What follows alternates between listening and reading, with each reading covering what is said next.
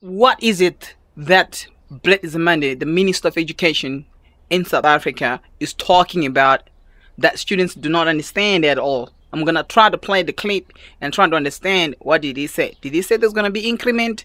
Of course he said something like that, but to verify that, we are going to play the clip for you guys. Our recommendation is that the fee adjustment should not go above 8%. Okay, you heard it. That's an increment. It's clear picture basically.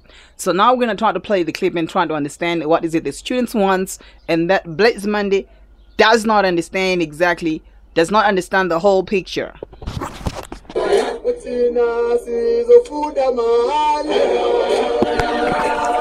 The students right there are talking about going to university for free and not paying a cent. So 8%, that's for the Minister of Education here.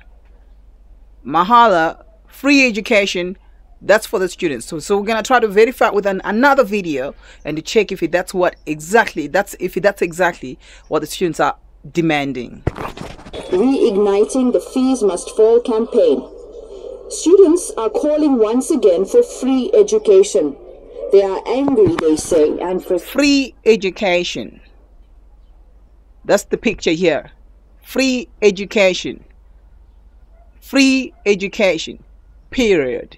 So the communication between the government and the students, uh, we don't know.